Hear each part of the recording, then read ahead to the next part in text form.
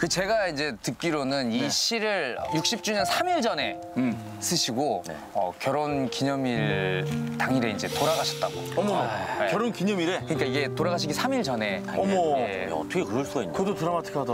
한편으로는 또 슬프면서도 한자 한자 약간 좀 로, 로맨스가 있지 않으신가요? 맞아요, 맞아요. 예. 신혼 때가 구려. 느껴져요. 다 갖추셨네. 진짜 다 갖췄어.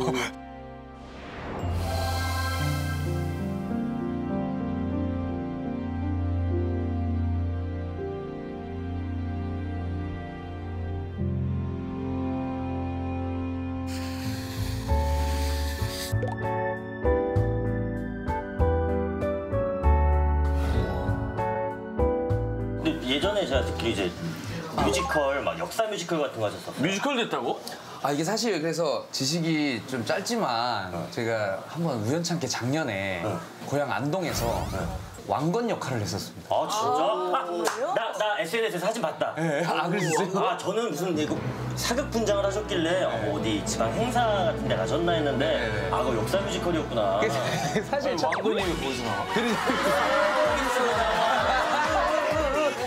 내가 이 나라를 이끌리라 만주벌탄 좀뭐 넘버나 이런 거 있어요? 지금 어. 기억나시는 거? 이번 고창 전투는 형이 좀세 분의 군주와 백성들의 도움으로 이룬 성과입니다. 이런 느낌. 왜 이렇게 못하는 게 없어? 제가 볼 때는 이 문화 예술계의 다산이다. 네, 장르를 아니 진짜 많은 장르 하셨네 음악으로 뭐 지금 트로트 하고 계시고 뮤지컬도 하셨고 R&B도 옛날에 하셨다고 힙합도. 발라드. 힙합도 하셨어요?